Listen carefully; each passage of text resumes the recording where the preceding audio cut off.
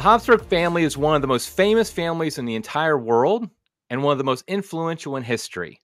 But what can the example of this particular family teach average people about family life? That's what we're going to talk about today on Crisis Point. Well, I'm Eric Sammons, your host, editor in chief of Crisis Magazine. Before we get started, I just want to encourage people to hit that like button and to subscribe to the channel, let other people know about what we're doing here. Also, you can follow us on social media at Crisis Mag, and you can uh, get our email. Email each day. We will send our articles to your e- inbox. Just go to crisismagazine.com, put in your email address, and that will come to you. And we promise not to spam you, at least not too much. Um, okay, so our guest today is a return guest, Eduard Habsburg. He's Hungary's ambassador to the Holy See and the Sovereign Order of Malta. His family reigned in Austria, Hungary, Germany, Spain, and quite a few other places. Also known as Archduke Eduard of Austria, he's a diplomat and a social media personality. You have to follow him on X if you don't already. He and his wife have six children. He's the author of several books. I think I own most of them. And his most recent book, published by Sophia Institute Press, is Building a Wholesome Family in a Broken World. You, you have a copy. You have, have a copy. A, I have oh. a copy. You don't I have don't. a copy yet? I don't have a copy. yes, you see where I rank compared to you. That's right. That's right. I got the electronic copy a while back, but then so I could read it. But then just last week, the actual physical copy. And and for those who are listening in America, if you order, you will get a copy immediately. You might even get one before the ambassador, before the author does. You might get your copy. So so welcome to the program. I really appreciate you being here. Thank you for having me on the show. And let me return the compliment. You should definitely follow Eric on Twitter. He's a lively, interesting, and outspoken um, presence on Twitter. And I enjoy his tweets very much. Thank you. I, I appreciate that. I appreciate that. Uh, okay, so and that's a diplomat talking who said that. So I mean that that that, that means something. So okay, so I want to this before we get started talking about the idea of families raising wholesome families, what you've learned from your own family history, you know, your personal experience. This week, of course, we celebrated the feast of Blessed Karl of Austria, who was the last Habsburg emperor and also a cousin of yours. And I have a, devotion to him. I'll prove it right here because right here is my holy card that I keep right here. I look at, and I always say a prayer to Blessed Karl before each podcast. And back here, you can't see it, is my bust of oh, Blessed wow. Karl right there. Oh, and wow. so, and so, uh, in fact, just to kind of prove our Blessed Karl chops in this family, I, I have a proud dad moment here. I'm going to share with everybody.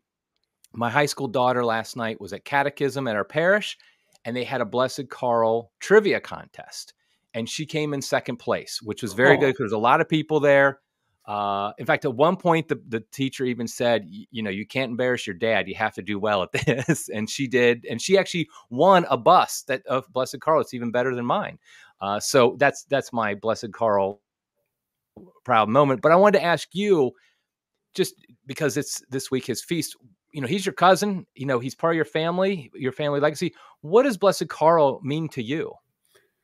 Well, first of all, for me, what you just told us is so surprising because uh, who would have thought that um, this gentle, friendly uh, family father, who in the eyes of the world is a total loser, who managed to lose the empire, the First World War, and die uh, a few months later miserably in exile, that this is a character that would be beloved in the United States to a, to the point that there is a Blessed Karl trivia contest in catechism.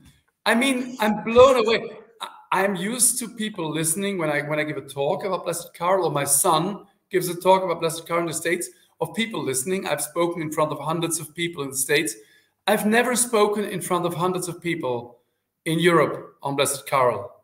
So there must be something in this man that deeply speaks to Americans, which is crazy in itself because America is built on the idea of fighting tyranny and getting away from monarchy and being a democracy. So, what is it in Blessed Karl that speaks to Americans and also speaks to me?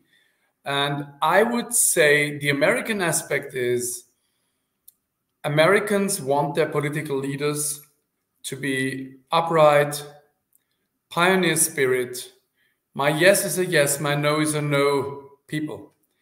And I think over the last years or decades, many Americans have lost that kind of faith in their political leaders.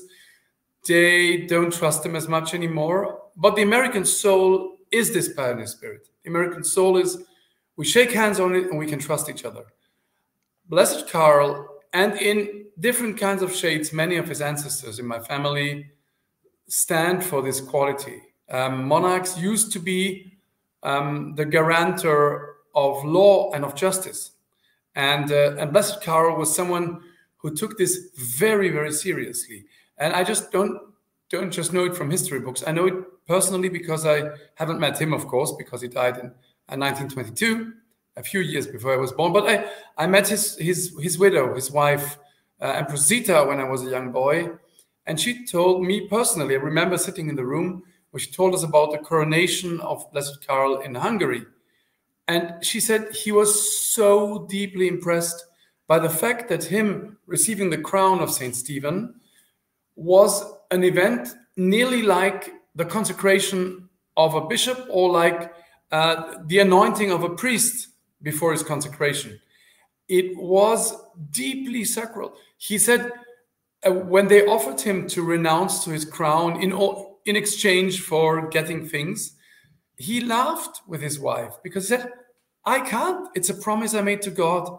I promised him to look after my people. This is not about power or wanting to wear a crown. He had been anointed by the bishop. He had promised this to God. So I think we feel a lot um, of that quality that we would want our political leaders to be. And for me personally, um, in my family, he is highly appreciated and loved. Um, he is probably the most popular Habsburg in the among the young ones, especially. And when I asked them why, they would usually say because he was a brilliant husband and father. He was a deeply devout Catholic, and he did he gave his everything for his job, which happened to be uh, emperor. But I can do that too. So he's a relatable saint. I mean, as every great saint he has his virtues in abundance and he lives them in a heroic way. But what he did, every one of us can do. And therefore, I think that explains that explains a bit. Yeah, and I I agree with everything you said about the American phenomenon uh, of of blessed devotion to Blessed Karl. I also think there's another thing. I, I know people outside of America might find my next statement a bit might not believe my next statement, but I I believe the American people are a peaceful people, and we are frustrated by the fact that our government has, uh, you know, not been peaceful. I mean, ha- has been a government that has started conflicts or in, in, engaged in conflicts and kind of inflamed conflicts around the world. And when we see when we read about Blessed Karl and his devotion to peace and the sacrifices he was willing to make for peace in an incredibly difficult situation that's something we want in our leaders instinctively we want our leaders to we understand i mean blessed karl was a soldier this isn't a man who was afraid of a fight or anything he wasn't cowardly he was the opposite. But instead he just understood and because he was a soldier i think he understood the value of peace. And i think we want our leaders to to really value peace as well and to work for peace like blessed Karl did. I totally agree. And that was, I think, the core message uh, that uh, John Paul II um, put sort of above the kind of beatification of Blessed Karl was he was an emperor of peace who listened to the Pope's calls for peace in a time where everybody just thought of war. And um, and he he went to he he went so far as to make himself seen a, seen a traitor in order to bring peace about because he listened to the call of the Pope. And uh, currently, we are in a war where Pope Francis desperately invites uh, all parties to make peace. Hungary, my country, is one of the very few countries that strongly speaks in the same direction. The Holy See appreciates what we're doing. And so we're a bit in a tradition of Blessed Karl. In fact, two days ago, three days ago, on his feast day, I, I we gave a conference in Santa Maria dell'Anima where we spoke, and there was a strong Vatican participation, two cardinals, several bishops, where we spoke about this very strong call for peace in this man and for our times too. Yeah, I was I was telling you before we got on that on I was privileged on this past weekend. I was in Washington D.C. for a Blessed Karl conference. We, there was a beautiful mass with new, new music that was dedicated to Blessed Karl that was sung for the first time at this mass, and the Hungarian ambassador to America was there. and He spoke afterwards, and and he mentioned, of course, uh, Blessed Karl's devotion to peace. And I, I really do appreciate that Hungary does seem to be following in the footsteps of Blessed Karl and advocating for peace. I mean, from what I everything I see is that they they seem to be one of the few rational countries these days about just saying, okay, let's focus on peace. And I think that I wouldn't be surprised if that's because of Blessed Karl's uh, intercession for the country. Okay, so um, absolutely.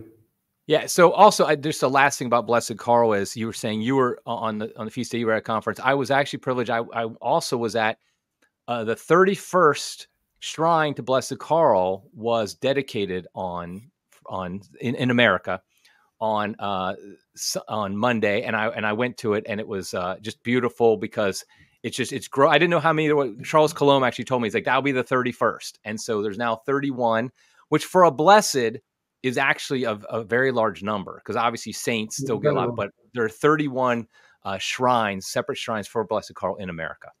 Are you part of the prayer league, Eric? Yes. In fact, look, oh, there it is. There's my pen. There's my pen. Well so, yeah. done, sir. Absolutely. So, okay. So, and we'll probably mention Blessed Karl again here, but I just I couldn't this week. I couldn't, of course, uh, talk to you without you know singing his praises once again. Right? exactly. Now, you, your your latest you have a book, of course, the Habsburg Way, which I interviewed you about, and that was excellent. But this one is focused on it says building a wholesome family in a broken world. And why is and, and and I think some people might not get the connection between Habsburgs and family who don't really know the history, but there really is a connection there. And why mm. is it that family is central to the Habsburg legacy, both politically and personally? Oh, you you can get me talking for half an hour. Um, Go ahead. so, in in my first book, I had the seven principles of our family, and the first one was get married and have lots of children. I would say that first point from the first book is the topic of my second book: get married and have lots of children, because I believe that having good a good, happy, lifelong marriage and lots of children is the greatest gift that the two spouses can give each other that they can give to the children and that this family can give to society.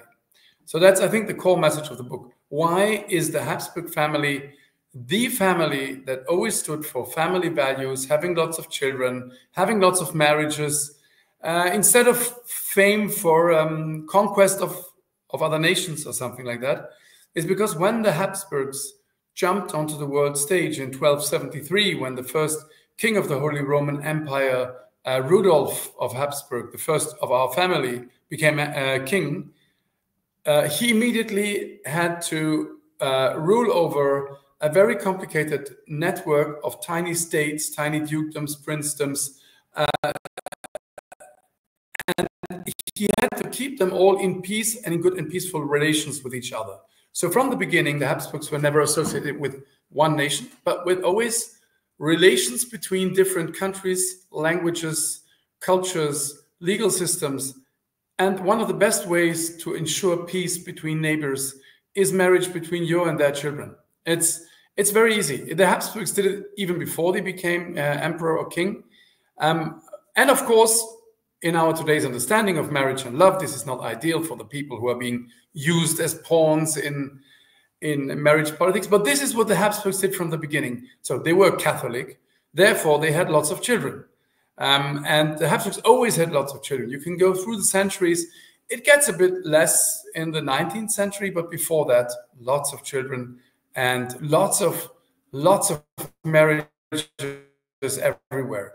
That's why I say that the Habsburg family can look back to a rich treasure of experiences about family life, about marriage, about getting engaged. Now, you will say you cannot honestly say that uh, the fate of a Habsburg princess that was married off in the 16th century to another court and a marriage today are, are the same thing. No, of course, they're not the same thing.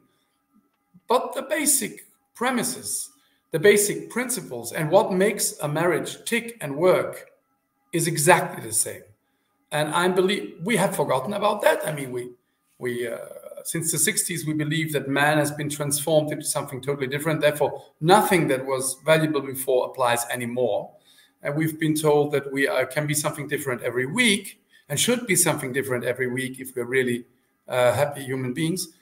But I believe that all the truths that were human truths for the last 2,000 years, and I would say for the last 10,000 years before that, still apply because man hasn't changed. The fact that I can read uh, Homer that, that wrote 2,600 years ago and understand every line of what he's writing, and it speaks to my soul, shows you that man hasn't changed. We haven't changed. Therefore, I believe I can bring a bit to the table. And, and if I look around and I see a dysfunctional, broken world with marriages going apart, with people not marrying, with people not knowing who they are, not knowing where to begin, not even knowing how to find a good spouse, not being able to jump and get engaged. Um, I see chaos around me. I see a battlefield of brokenness. And uh, I want to bring a little starter kit for people who want to get into this game and, and give, have a good start. Yeah, and I want to get into some of those details here in a minute. I, I want to ask though about uh, sticking with the Habsburg legacy here. Now, in America, our views of monarchy and monarchs are is let's just say uh, uh, not not not very high, and we typically think of monarchs like a king who has like thirteen mistresses, and basically he just has a wife in order to have an heir, uh, and that's really the only purpose of it. But the Habsburgs, I know oh, I'm not saying they're they're obviously not all saints, but there's been a, it's a different history. Are there what are some examples other than Blessed Karl and and servant of God Zita, who of course had a, a wonderful marriage? But are there other examples in the Habsburg past of marriages that were just you know solid marriages that that we can say, yeah, this is a marriage that we can we can look up to and emulate? I, I give a few examples in the book. I give a few very nice examples. There are there's a surprising amount of number of very happy, very long and very faithful marriages. Of course, there were a few Habsburgs that probably had mistresses by the side, but it was seen as a sin because Habsburgs were Catholic. They went to the sacraments, they went to confession, so they knew what a sin was. And I think the Habsburgs who did that were the, the great exception. Most Habsburgs had very very faithful and good marriages and and very happy marriages. Uh, one example that I would like to point out is Ferdinand I. Ferdinand I was a brother of Charles V, famous Charles V, one of the most famous Habsburgs ever, and his brother became emperor after him. His brother led a famously chaste life before his marriage. He never had mistresses, he never did it. He was devout. He got married, and his marriage to his equally chaste wife, was known to be one of the most happy and longest and happiest marriages of their time. And if we think about the fact that at the same time, Henry VIII, who was contemporary of Ferdinand I, through his absolute lack of chastity and his lack of being able to control himself and to lead a normal Christian life, destroyed the Catholic Church in England and began a terrible, terrible, terrible path in England. And, and Ferdinand I was shocked about the behavior of, of, of the king in England. So, what I'm trying to say here is simply that is one of the many examples. Uh, uh, Charles, Archduke Charles, times of Napoleon, uh, he was the first man to beat Napoleon in, in a land battle. He was a hero. Everybody knew about him. There were monuments built to him he led a chaste life as an archduke. He got married late, and if you read the letters he wrote to his wife through all their marriage, you get teary eyed. That was such a tender love that they had, and what a wonderful marriage. And I have so many examples of that kind. And why why is this in the Habsburg family? Well, because I believe that the main ingredient and ingredient number one in my bucket list to find a good spouse is the Habsburgs didn't marry you off to someone of another faith. If you were married off as a princess, you married a Catholic. If that wasn't the case, then that person became Catholic. But you weren't married off to something, and the parents usually try to find someone who more or less had a good moral life too. But most of all, you married Catholics. And my theory in my book is the first checkpoint that you have to check if you're in love with this beautiful girl. I'm, I'm not talking as a man, and you think she could she could be someone to marry. The first point that you would have to check off is: Do you share the faith? Is she Catholic? If she isn't, she should become Catholic. If you aren't, you should become Catholic. Why do I believe this? Uh, I believe this because I think that the Catholic Church, first of all, has the truth. I believe that as a Catholic. Um, sorry to uh, the other um, brethren in the other churches. Um, but I also believe that the Catholic Church has the unique mixture of a moral system of guidelines and practical tools to help you um, keep a happy marriage. Um, that I, I, wouldn't know how how I would how I would live my marriage without my faith.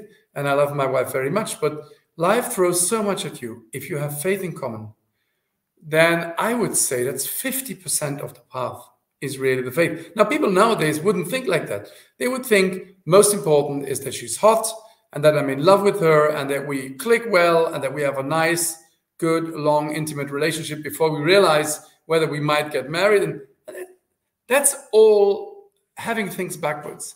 I'm changing. Take a step back and think really hard before you even step up closer to that other person. That's the theory in my book.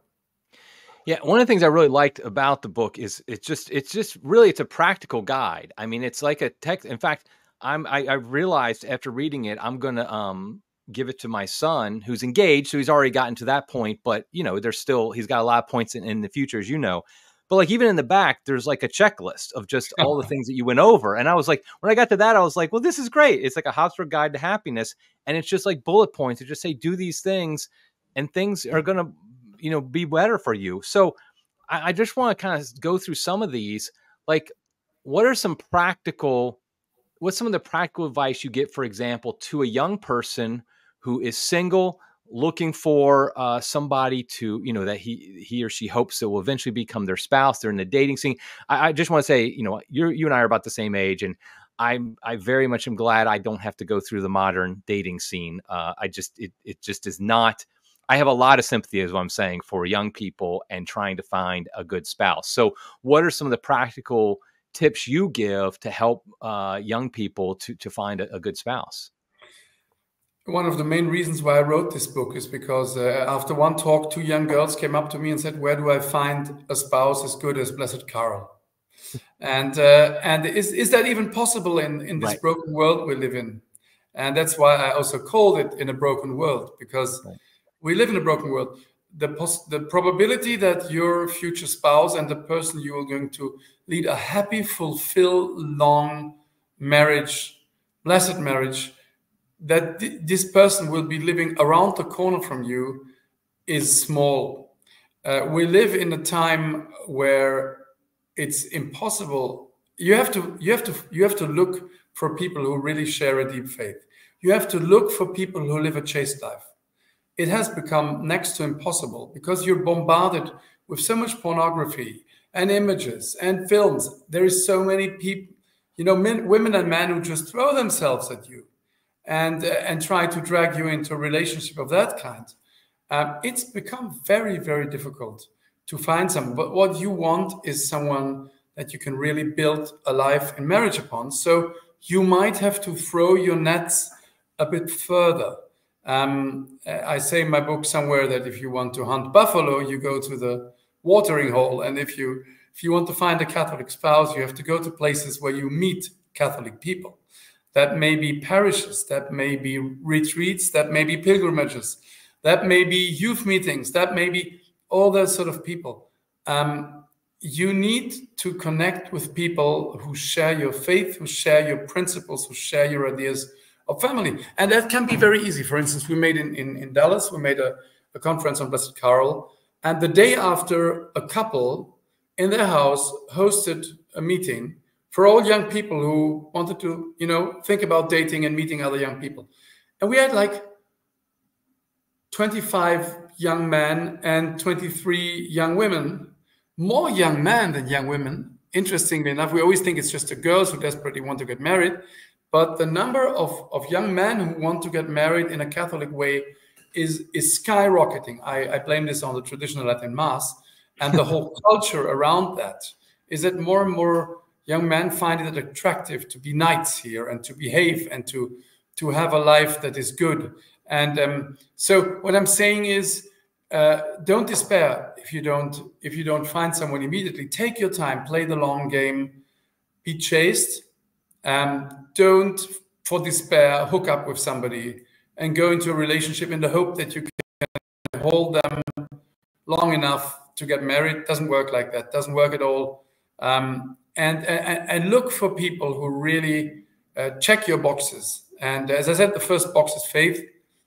The second box is family. Now, imagine you found somebody and that that girl i always speak of girl but of course it, it goes both ways um, that girl is really you think she's beautiful and you think she's attractive and you love her and all of that and have long conversations about family it's it's not it's not a natural topic you would rather talk about movies and uh, going out and have, having fun and holding hands but figure out what the other uh, person's idea of family is is this someone who is ready for a big family because in my humble opinion, and, and it's a central topic of my book, a family is a big family.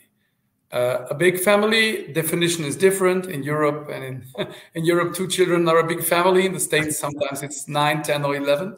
Um, but is the other person ready? Is the other um, potential spouse ready to have a big family? Because having a big family, I don't have to tell you, um, Eric, having a big family comes with sacrifice. Having a big family comes with life decisions um, comes with the question is where we're going to live. Can I live downtown New York in a swank apartment with seven children?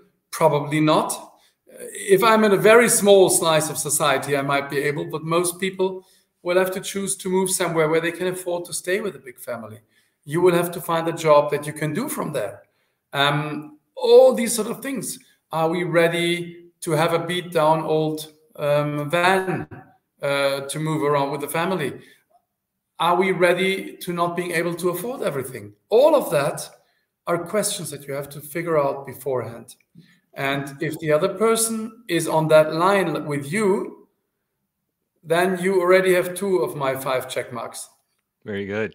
I, I want to bring up the, uh, an issue that I think it's a little, might be a little bit controversial because it's very much against the way of today. And I, I the one of the things I like about your book is you kind of like, well, the way of today is not very good, so let's do a different way. But it, it ties into what you were saying before about how in Habsburg history, you had a lot of arranged marriages. I mean, the whole point was you have this princess who's married off to this prince in order to establish this connection. So there was little to no romantic uh, attraction between the two before they were engaged often. But uh, in many cases, because they were compatible in so many ways, because the marriage was set up in a compatible way, the love did grow and they did become romantically in love.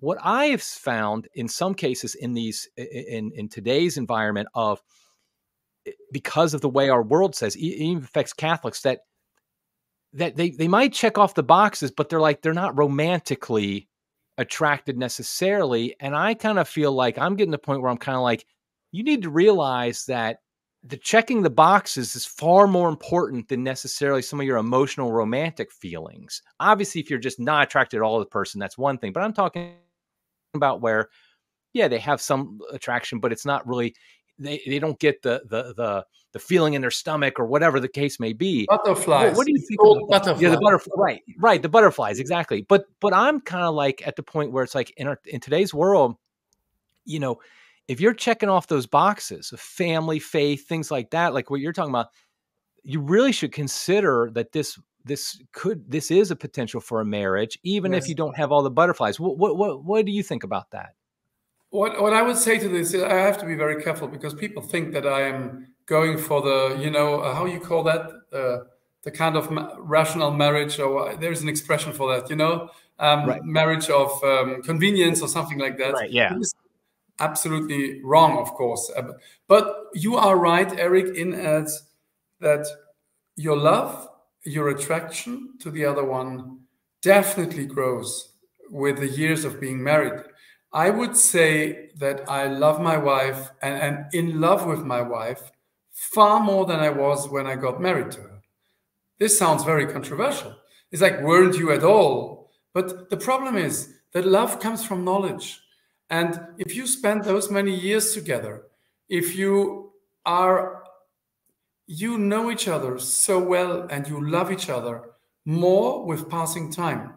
And if I would, I don't want to encourage anybody to marry somebody whom they don't feel any kind of feelings for. And just, you know, we have to sit down, we make a checklist, and then we get married. Right. Because Ambassador Habsburg said that if the checklist fits, then no, no, no, of course, there, there is there is an element of um, you know we like each other and but it doesn't have to be the mind blowing emotional experience because you can count on it.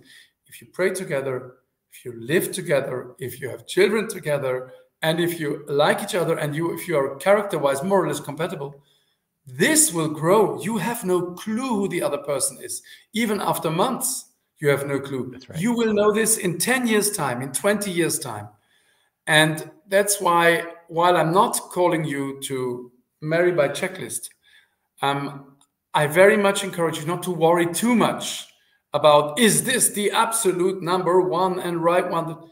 If everything checks and there is sympathy and there and both sides want this is a very very good chance for a lifelong happiness. It sounds very unromantic. It sounds very boring, but it, I think it's quite a good thing. And people nowadays do it the other way around they form an attachment, then they go into an intimate relationship, then they convince themselves for a while because what I call is they pour sentimental sauce over their relationship. That they believe that they fit together because, of course, your, your body and your chemicals tell you you fit together if you have an intimate relationship. And you can you can you can build bridges over all the differences that you have by that for a time, for a while. That, of course, burns out after a while because you cannot build a relationship immediately and only on that. So people have it backwards. All of that comes later. And that's why my third point is so very important. Uh, so it's it's it's faith, it's uh, family, your ideas of family. The third one is chastity. It's yes. a very a very much unloved expression.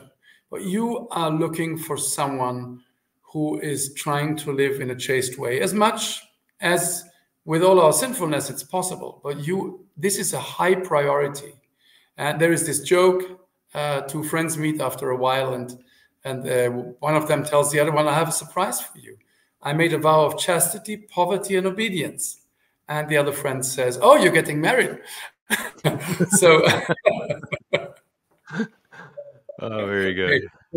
What I'm saying is, marrying someone who is in his or her approach chaste will guarantee a respectful relationship, also in the intimate way, will guarantee that the other person will not be looking to the left and the right all the time.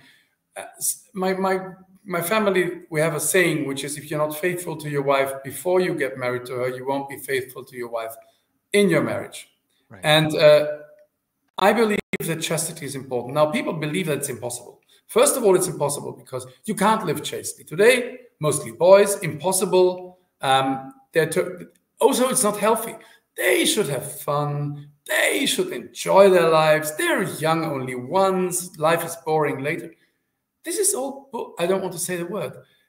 bulls. Uh, this is yeah. totally wrong. And you set your children on a path that is incredibly destructive and terrible because with each relationship that you begin and break off again, your chance of a lifelong happy marriage diminishes every time a bit. Ask yourself, is it really worthwhile? Or do you, I want 30, 40, 50 years of happy marriage?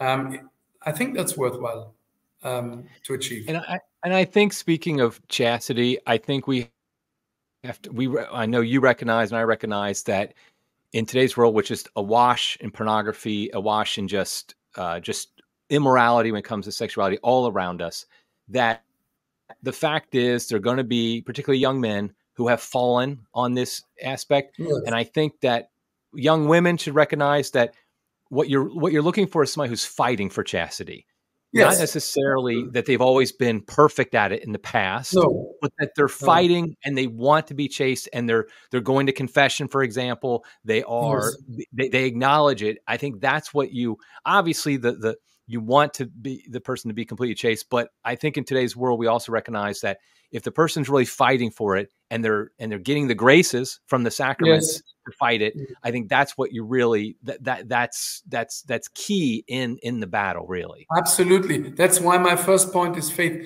I don't even see how you could survive uh, living in today's world, uh, especially as a man, without grace, the sacraments, and confession. Uh, this is the way um, to to and I, I, totally agree with you. Don't want to give the wrong impression that you have to marry uh, the, the one virgin that still remains on the world or something like that no? Um, this is about an attitude that you're looking for in the in the other person. The attitude is with the grace of god i want to give my everything that i can to live a chaste life. As i like to say in interviews chastity does not mean no sex. Chastity means sex where it belongs. And uh, God has settled these things in a way to make us happy on a long term and participate in His plan for the world. And uh, it's not easy. It's not easy. Today, it's more difficult than ever. Um, but it's possible. And imagine the greatness of the gift you make your spouse by telling her, I'm trying to be chaste for you and it's it's possible. Yes. There, I have so many friends who do this, and in the generation of my children, they try to live it that way, and their friends try to live it that way. It's worthwhile. It's worthwhile, and don't listen to people who say impossible, out of this world, sick or whatever. It's not true. Yes, yes, there are uh, virgins getting married to each other in this day and age. It still exists. You know, yes. you'll never see on television. You'll never hear talk about, but it does exist. But I think again, the key is yes. that both both members, uh, both uh, parties are really fighting for chastity and have been fighting for it for quite some time before getting married. I think yes. one of the things I like about the book is also you're basically. It's kind of funny because in some ways, what you're saying is simply what the church has always said for 2,000 years. And you're just simply saying everything that we're being told today is a lie. And we know it's a lie because look at all the broken marriages, look at all the divorce, all the adultery, all these things that are happening. And you're just, so in a lot of ways, you're not saying, I, I think you know this, you're not saying anything new. But I do think it, you're, you're making some specific examples. I want one that kind of, I don't know why this one kind of stuck in my head. But when you said engagement shouldn't be a, how'd you put it, like a social media moment and like that goes against i mean that's what everybody does now. So why why did you like why did you say that? First of all uh, what you said about me just stating what the church and human wisdom has always said there is a scene in the one of the star wars sequels where harrison ford says it's true all of it. So that's uh, you know i figured out that what the church tells us is, is, is, is true. Unfortunately, it's true. So, yeah. But to get to why, we, I mean, I think most people live two parallel lives a, a very uh, unexciting uh, real life and a very exciting uh, digital life. And the idea, I remember when my parents uh, made a trip to the States with us when we were teenagers. And we, we went to the Grand Canyon for the first time. It was in the evening. And my mother told us, and we didn't even have phones then don't take pictures. Take a picture with your inner camera. Remember this moment. I remember the moment because I didn't take a picture. The same goes for your engagement. Your engagement is the biggest step, it is huge. The marriage is just a consequence of that. The, uh, you know, getting married in front of a priest is the consequence of this gigantic it's one of the most intimate and one of the most vulnerable moments in a relationship. Of course not if you already lived together since years and just have to figure out um, that you want to have a nice picture of someone falling on a knee in front of you and then afterwards you holding a ring into the camera as it was with most people. But for two people who don't live together who don't have a relationship where one of them says i want to throw my entire life uh, together with yours forever. This is the moment. This should be a fiercely private moment. This should not be. This should not be an Instagram moment. But my my children, um, after I read them the chapter from my book, they went online and they found. Can't imagine. They found home pages of photographers that explain to other photographers how you prepare that special moment, how you take contact with a future spouse, and where you place yourself. Find a good hiding spot behind the bush, and then have a point on the floor where he needs knows to kneel to kneel down. All of this horrible, horrible stuff. It's also fake, and the woman has to has to um, pretend she doesn't know and it's it's oh it's terrible now i don't want to criticize anyone who does that there are many women who love the idea that they sit in a stadium with a hot dog and uh, and the hubby behind beside and suddenly on the big screen it says marry me and everybody claps and i think this is the worst case of bullying because you, you can't even say no if right. everyone's right. watching so i believe in my case it was a spontaneous decision I was thinking about at some point getting married with my with my then uh, well not yeah love interest but we were we were praying for a good discernment and we prayed a, a novena and it was a novena to the Holy Spirit and it contained the line from resistance against the known truth deliver us o Lord. So we prayed that every day and we went on a pilgrimage together. And uh, and then we sat after morning mass under a crucifix. And we talked and we talked about family and the future and and I remember we began talking about how one would do a wedding mass. And at that moment that that line from the from resistance against the known truth deliver us o lord came into my head and i said it can't be clearer. And i asked her without preparation with no ring i just asked her. Mm. And she said yes and I, that's how it's supposed to be. And I assure you, your future wife will be very happy if she can choose the ring afterwards together with you and have a say. It's much better than if you surprise her with it. Um, so it's just a detail, but it's it's a sign of how much derailed our our realities are. It's a very what you're saying is it should be a natural process, not a uh, invented one, like a, a, a choreographed one, and all that. No. Because the problem is, then it becomes, it's just it, like the more natural is, the better. I, I, mean, I like you were saying about the pictures. I, of course, there was no social media back when I got engaged uh, over 30 years ago, but I I remember very clearly in my brain, in my inner camera, I know I remember asking my my now wife, you know, and and there's something like you. I like the word you said, vulnerable because the woman should have every ability to say no. Yes. I mean, and, and so and, and that's part of the that's part of the joy when she says yes. if it's like this forced thing where everybody's like everybody it's all choreographed like well i mean it's like you know she's going to say at least feel like she has to say yes but when it's just this very natural like when you ask your uh, your now wife i'm sure you know I, am sure you felt confident there's a decent chance she she could say yes but there's always a chance she could have just said no, I don't think so. I'm not I ready for that. I didn't yeah. plan it. I didn't know. I yeah. gathered she would, but that's the whole point. It's a right. free coming together of two free people who are ready to throw their lives together uh, and, and embark on the greatest adventure in the world.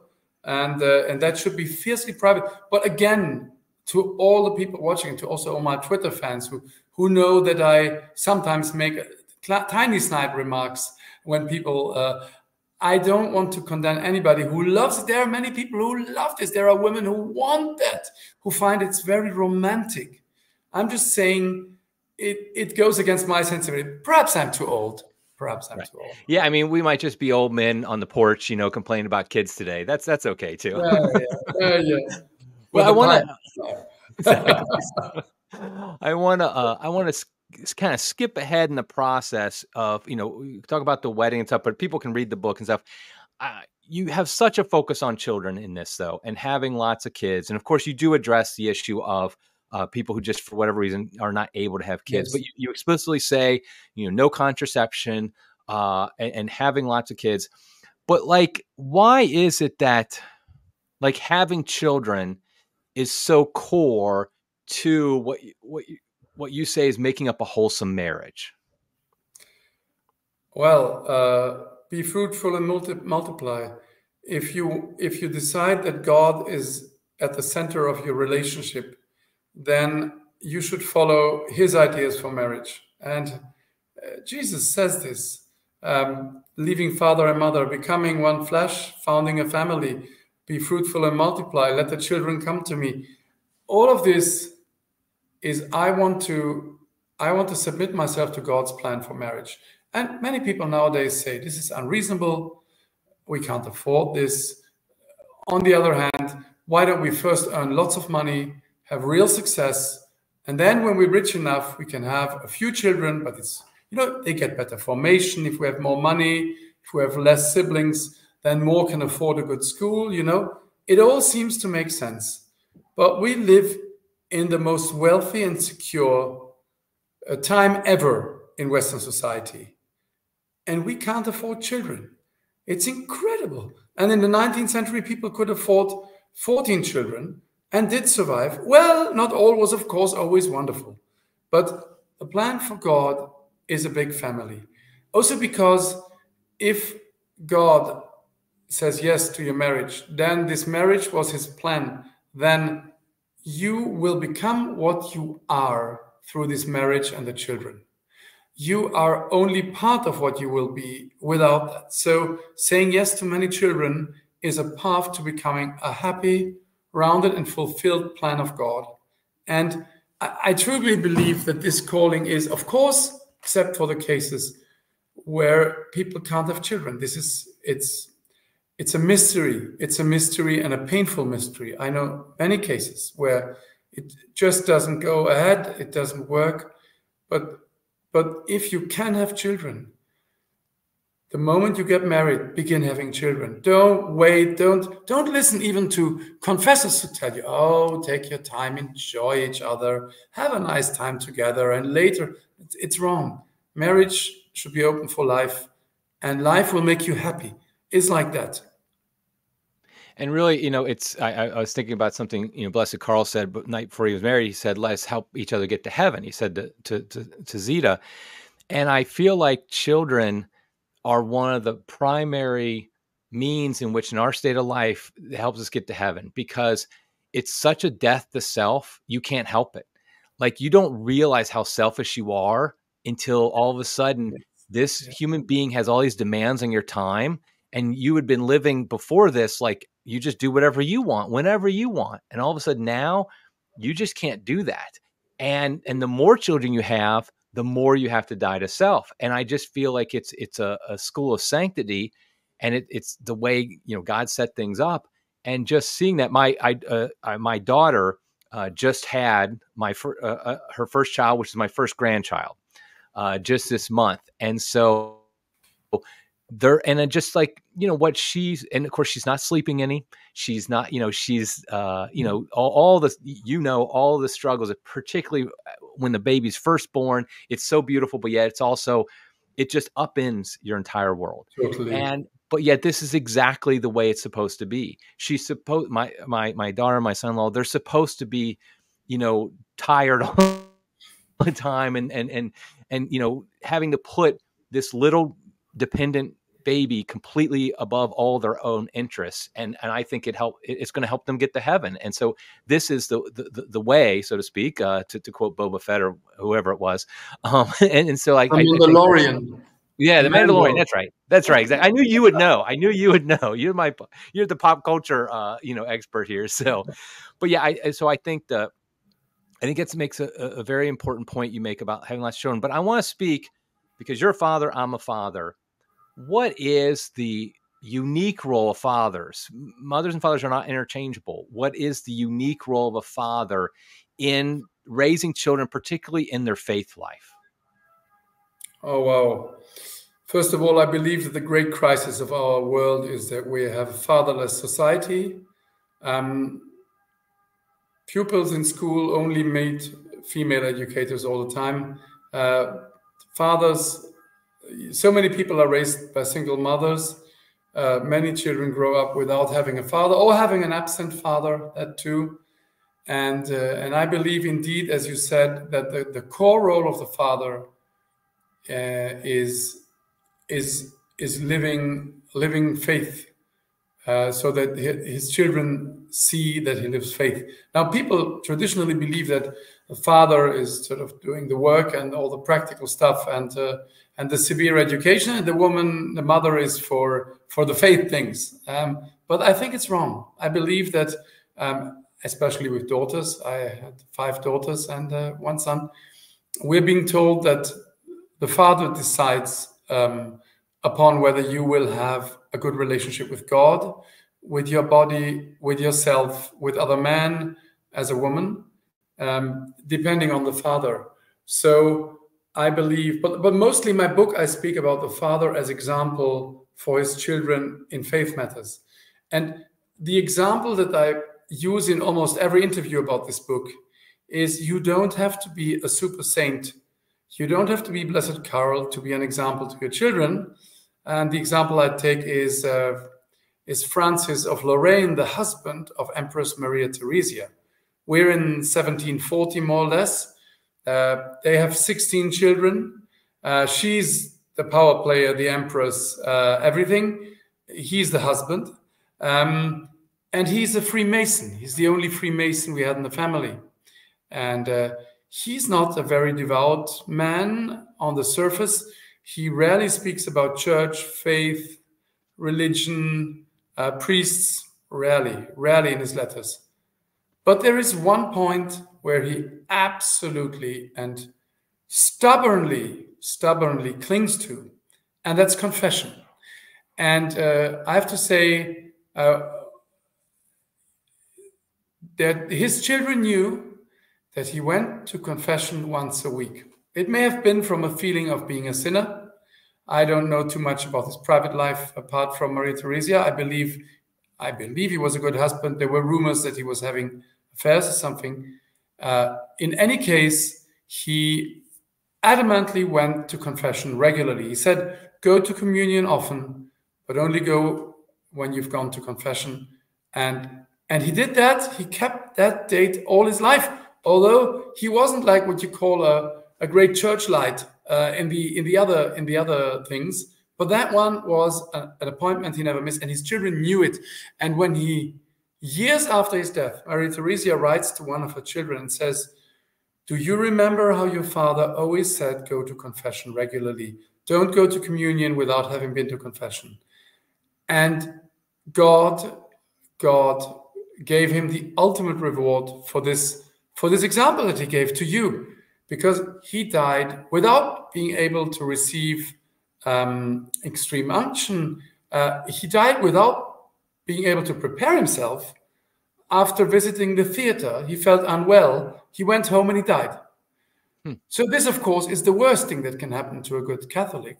Right. But God gave him the grace to die on a Sunday, and he had gone to confession, to communion that morning, because he stubbornly went to confession. And all of his children knew about confession, and even Joseph II, their eldest son, emperor, and not exactly a very devout seeming man who did a lot of damage to the church. If you read my first book, um, he saw that his confessor was never far away from him when he was in his final illness, and and he saw that his mother could go to confession before she died. So you see, you can be a good example to your children, even if you're not the super saint in everything. Right. And I, I, do think that the they, they they've done studies that show that the father has the biggest influence on the religious beliefs of their children. What yes. and I think it, it kind of goes back to what we were saying before about like if you're fighting for chastity, that's what matters. And if you're fighting to to live a holy life, even though you know I, I know you know this, we as fathers we hate it when we fail because we know the example is bad for our children. But if at least they see you getting back up and and like yes. like the, like for you know like the fact that you get back up, you go to confession, and you're regularly going to confession. You regularly make sure your kids go to confession. I love that story though about him dying because uh, uh, uh the fact that he had just gone to confession communion. You know, we pray in the Hail Mary. You know, pray for us now at the hour of our death. It's not like a magical incantation. We're supposed to do something as well. If we're always, if we're regularly going to confession, receiving the sacraments, then what's going to happen is we're going to die in the state of grace. It's not it's not yes. like some magical thing where all of a sudden we just live yes. however we want and then like we'll magically be saved at the end. No. If we just live in that state of grace all the time, then it doesn't matter when we die because we'll be prepared for it. Yes. And yes. so I think that's that's very important. Um I think we're going to wrap it up here, but I just want to personally I think after after you know reading the book uh, building a wholesome family in a broken world habsburg lessons from the centuries uh, sophia institute press i'll make sure i put a link to it so you can uh, buy it uh, and maybe one day you'll get a copy of it as well. but I personally think, like, I, I, a lot of people can get a lot of help out of this, but I think it's a great gift from parents to their young adult children. Uh, maybe when they graduate from high school, from college, when they're entering the dating scene, wherever the case may be, because I think it gives them a leg up that they can they can really have the practical advice and kind of see what direction they're going uh, what direction they should be going. Obviously, somebody who's been married for years can get. I I, I found things in there like, yeah, this helps me, and I've been married for almost thirty years. But I, I really feel like that's the the one of the the main beneficiaries. I think would be would be young people. I mean, what what were you kind of what, what was your audience when you when you wrote it?